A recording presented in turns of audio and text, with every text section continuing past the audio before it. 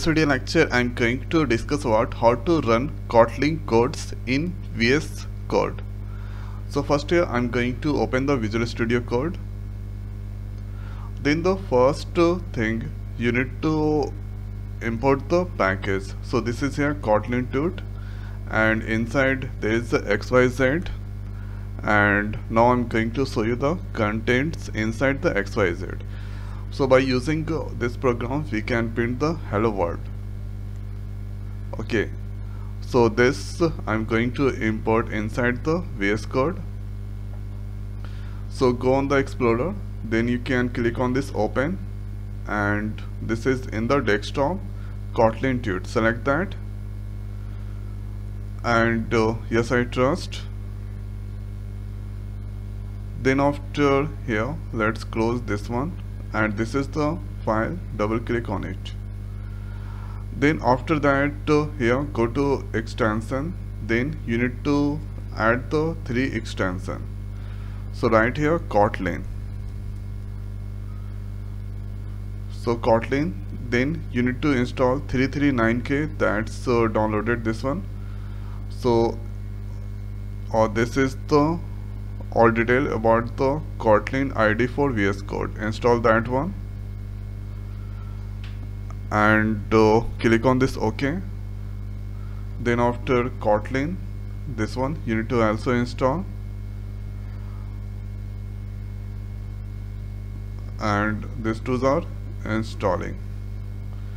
So both that has done. After that here you need to uh, search code runner so with the help of uh, this code runner you can run or C, C++, Python and Kotlin program also. So you can also see or somewhere Kotlin. So let's click on this install. So this has been installed and after doing this let's uh, go back to uh, this uh,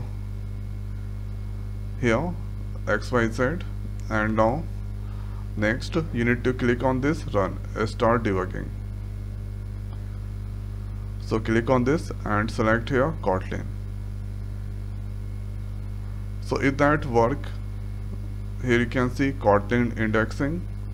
So if that work then it's okay. But if that not work then right click on there click on this run code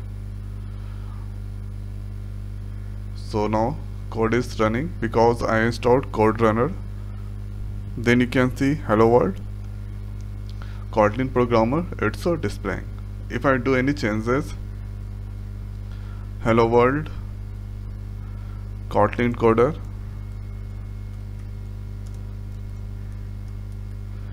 Control S to save. Then after I'm trying again start debugging. This times Kotlin so I think this is not working. So you should use here code run code code runner. So click on this run code. Then you can see it's uh, running. And you will get the output. Hello world kotlin coder it's a displaying. So this is the most uh, simplest way we can run the code inside run kotlin code inside the vs visual studio code so i hope guys this video is the helpful for you. So now in this video it's over. So thanks for watching. See next video. Thank you